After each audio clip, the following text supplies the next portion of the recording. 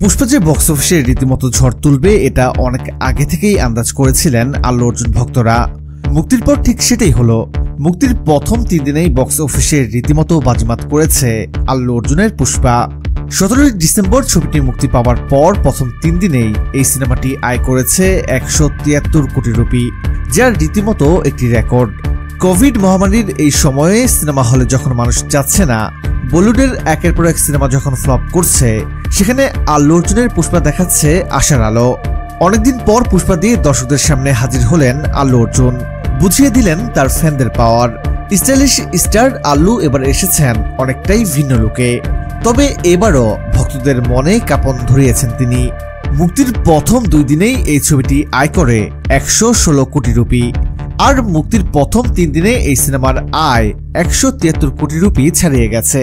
ধারণা করা হচ্ছে আড়াইশো থেকে তিনশো কোটি রুপি ছাড়িয়ে যাবে আল্লু অর্জুনের এই সিনেমাটি। তো প্রিয় দর্শক, আল্লু অর্জুনের অভিনয় আপনার কাছে কেমন লাগে? কমেন্ট করে জানিয়ে দিন। আর বিনোদন দুনিয়ার নতুন সব খবর জানতে সাবস্ক্রাইব করে যুক্ত হন আমাদের সঙ্গে।